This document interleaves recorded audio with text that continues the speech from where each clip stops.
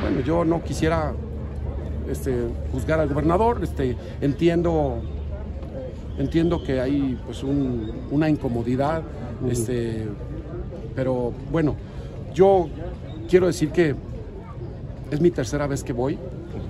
Las dos primeras probé el mando único y creo que es un modelo que no se ha renovado y en ocho años creo que es digno o merece que nos sentemos a la mesa todos los actores y replanteemos el tema de sector. Y quiero decirlo, la Policía Estatal tampoco se puede lavar las manos porque tiene un mandato constitucional y un mandato eh, en, en la ley que no se puede decir, ah, como no hiciste lo que yo quería, ahora ah, ah, lávate como puedas. como puedas. La policía tiene un mando, tanto la Guardia Nacional, el Ejército, la Policía Estatal y la Policía Municipal. No podemos lavarnos las manos, ah, como no hiciste lo que yo quiero, pues O sea ya... que existe una amenaza si pues, no.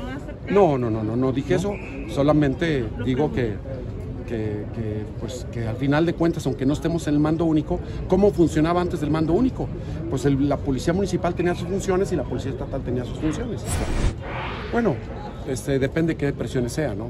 Hay que aguantar también, también hay que aguantar, pero, pero también depende qué presión.